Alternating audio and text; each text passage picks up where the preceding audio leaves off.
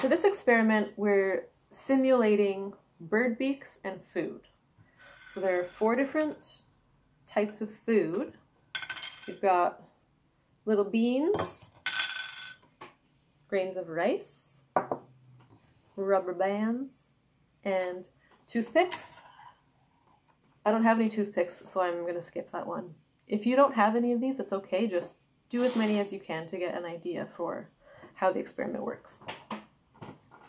For the tools, we've got chopsticks, a spoon, tweezers, and a clothespin, clothes peg. And you're going to use every different tool with every different type of food and see which ones work best. The plate is going to be your habitat where the birds find the food, and your cup is going to be the stomach of the bird.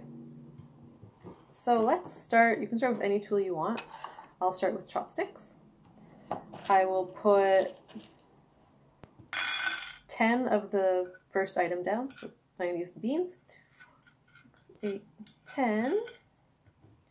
And then you start your timer for 15 seconds and see how many of the beans you can put in the stomach. Ready, go. So these are kind of hard to grab with the chopsticks, which is the point. One. Oops, two. Three. Four. I managed to get four in 15 seconds. So on my chart, I would find chopsticks and beans and put four. That's how many I got in. Now I'm going to use keep using the chopsticks and try all the different food.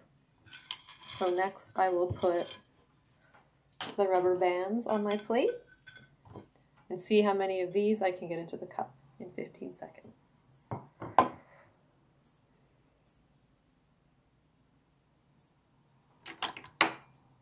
Okay.